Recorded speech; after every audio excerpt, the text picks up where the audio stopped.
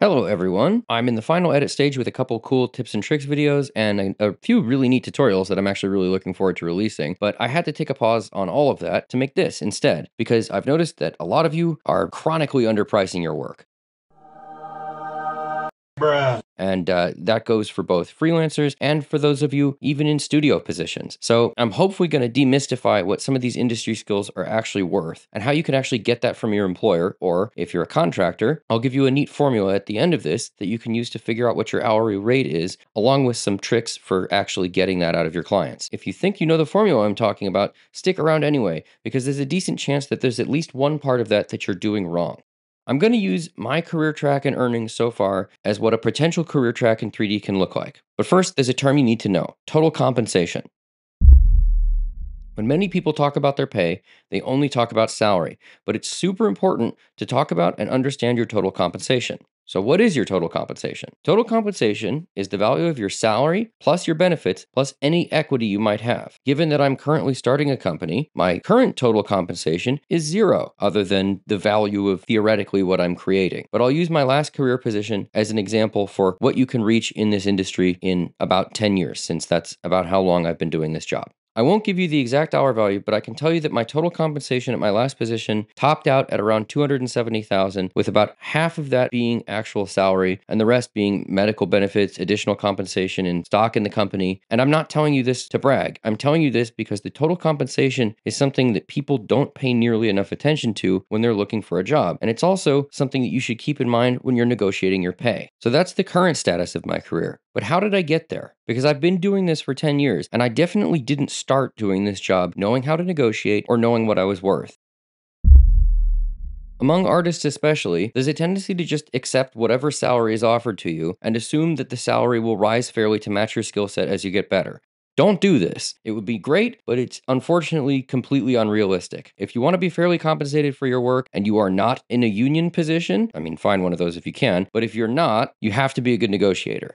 That didn't click for me until I had a fantastic manager who pulled me aside and basically told me, dude, you're a negotiator. You don't know what you're worth, and you're really doing a horrible job of, of actually asking for that in fair compensation. And that really changed my outlook on things. The number one thing in a salary negotiation is to go into it with a rock solid understanding of your actual market value at your current skill level. You can figure that out by looking at similar open positions in your area and doing a bit of research and guesswork to add up the value of the benefits included in those jobs. Start your negotiation from this position, and if they can't give you exactly what you're asking, don't just give up right away. Consider what risks you're willing to take. And if you think this company is going places, ask them to make up the difference between the salary they've offered and what you've asked for in stock compensation. It may not pay out and they may not agree, but if they do agree and the company does well, you can actually come away very, very well off. Much better off than if you'd taken that same amount in cash. People who were early at Amazon made out like bandits. The other thing about negotiating a salaried position is to consider the sum total of all of the benefits offered.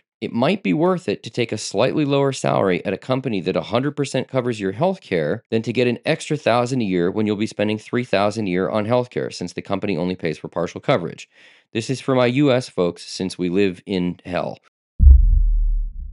Negotiating contracts for freelance work is a little different. It's been at least four years since I actively hunted contract, but I would imagine most of the stuff that I learned still applies. And I still occasionally do consulting work these days, so I do take contracts. It's just more stuff that people seek me out for rather than me going after clients. So I'm going to give you some general guidance as a contractor on how to price yourself. And it's not going to be market specific advice. If you're looking for more market specific stuff or like how to go after clients, how to even generate cold leads, I highly recommend checking out Renderer's channel, which I will link right here.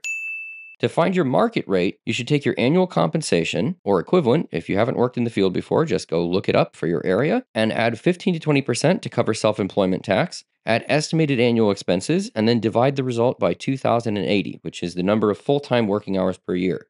Or, as somebody suggested to me on Twitter, if you really take a lot of vacations and stuff, you can reduce that amount, which will raise your overall rate even further. So, if you're more accustomed to working 30 hours than 40 hours and you're really, really good, you can actually price that in. This is where a lot of people mess up, however. Most people use purely their salary in this calculation. However, what you should actually be using is your total compensation. As a contractor, you're missing out on benefits like stock grants, but most importantly, if you're in America, healthcare, which often is about the same amount of money to cover as your salary itself. So you really don't want to leave that out of your calculation. So now that you've factored that stuff in and you've done the math, you have an hourly rate. So do you just give that to your clients? No. In my experience, what you actually want to do is estimate each job as uh, basically a single piece rate job. You're going to look at what the client wants you to do and you're going to figure out how many hours it's going to take you to finish. Tack on a few as padding for unknowns. You know, maybe the client changes their mind, maybe something just doesn't go quite as smooth as you as you expected it to. And then what you're going to do is multiply that number of hours by your hourly rate and give the client that number. Why? Well, clients don't want to hear an hourly rate most often because that's going to have them thinking, oh my God, this is an open ended thing. Mentally, it's more like hiring a full time employee. I know it's kind of silly, but if you are in the position to be offering someone this job, what you got to think about is what is the client thinking? And most often it's what is the price for this thing that I want specifically? Not what is the price of this person's time, but what is the price of this piece of media that I'm asking for?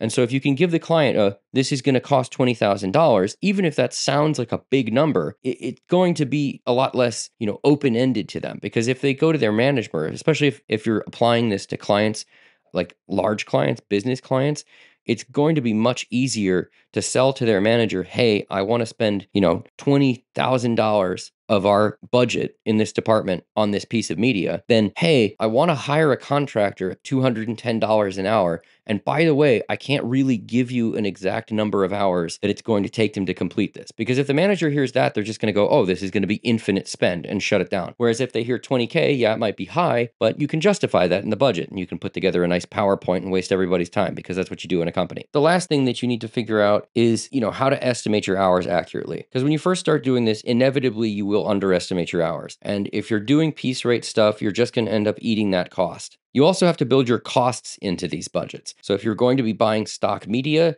if you're going to be hiring, you know, subcontractors, and if you're going to be burning render time credits or using a render farm, you need to factor those things into your pricing as well as revisions. Again, check out Renderer's channel. He's got really good advice on all this stuff, but generally speaking, figure out the total cost of your contract, including your hourly, and then give them a piece rate. You can even itemize it if you want.